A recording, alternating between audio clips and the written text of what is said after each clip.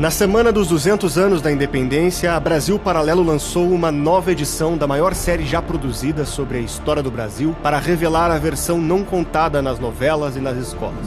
Acesse agora ultimacruzada.com e saiba mais.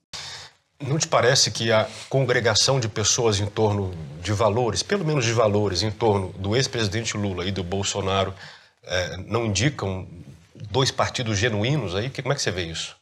Eu, primeiro eu vejo que é a primeira vez na história pós-democratização que a gente tem, por mais desorganizado e confuso que seja, uma vertente que não seja aquela social-democrata esquerda chique, que é o que a gente conviveu e, e viveu praticamente a minha vida, talvez a sua também, é, durante desde sempre, desde os anos 80. É como se fossem polos muito opostos, né? É, e não eram. No fundo, a gente vê que assim, a, a ideia do Estado indutor, é, a herança varguista continuou viva. O próprio Fernando Henrique dizia que queria romper com o varguismo e não, não conseguiu. Talvez até fosse autêntica vontade. O fato é que se impõe ainda no Brasil esse modelo e na visão da sociedade de uma forma geral, do empresariado, etc., essa ideia de que é, o Estado indutor vai resolver os problemas do país. E agora a gente tem, ainda que não tenha conseguido no governo Bolsonaro, e deve-se dizer, talvez pela, por causa da pandemia, talvez pelas forças do corporativismo que são muito, muito fortes no Brasil, a gente tem pelo menos o nascimento dessa ideia de que talvez a gente tenha que mudar o modelo. E eu ponho muita fé. Eu não acho que existem dois partidos ainda, porque acho que dos dois lados tem diferenças grandes em agrupamentos, mas é o início de uma maturação. Agora, o miolo, o miolo não vale nada. Não vale nada. Me explique hoje o que é o PMDB. Me explique ah, hoje sim. o que é até o PSDB, o que é o PP, o que é o PL, o que é o PR.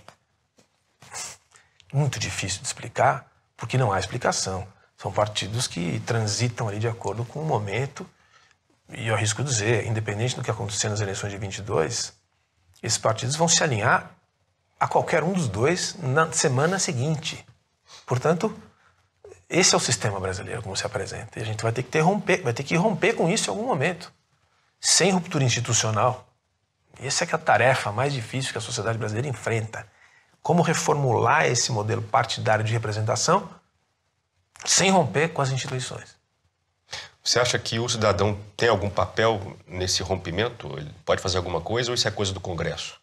Eu acho que a única coisa que pode e deve se fazer é ir para as ruas. A única coisa que. Mas pedir o quê?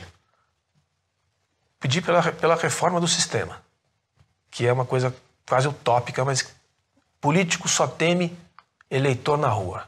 O que vem acontecendo desde 2013, nas devidas diferenças das manifestações que se acumularam, são o que deve se fazer, o que deve acontecer em democracias hum, que estão amadurecendo. Acho que qualquer outro, outra bandeira de ruptura não é saudável.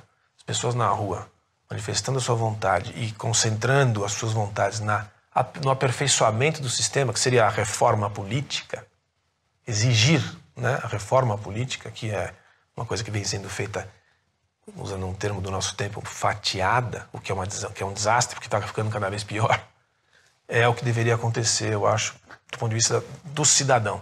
É difícil pedir para o cidadão brasileiro médio fazer isso quando ele tem que pensar no dia a dia trabalhar no almoço para conseguir jantar. Mas é o que acho que deveria acontecer para a gente ir no bom caminho.